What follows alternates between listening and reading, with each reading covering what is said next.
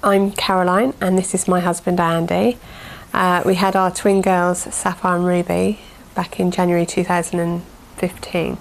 They were born at 24 weeks and they weighed one pound two and one pound five.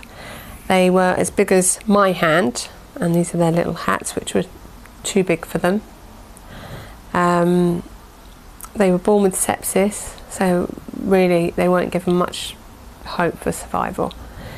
Uh, a few days after they were born, they both um, got NEC, uh, which is perforation of the intestines.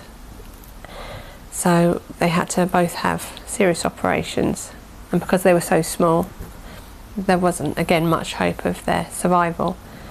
Um, but miraculously, they both pulled through.